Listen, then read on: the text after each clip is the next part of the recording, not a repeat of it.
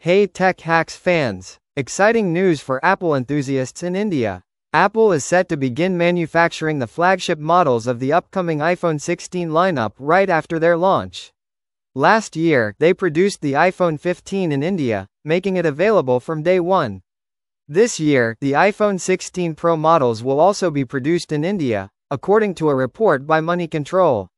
Initially, the iPhone 16 Pro models will be imported, but locally assembled devices will soon follow, thanks to a reduction in the basic customs duty BCD on mobile phones in the budget 2024-25.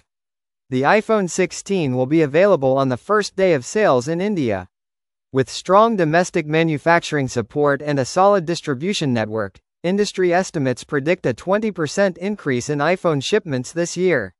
What do you think about Apple ramping up production in India? Are you excited for the new iPhone 16 lineup?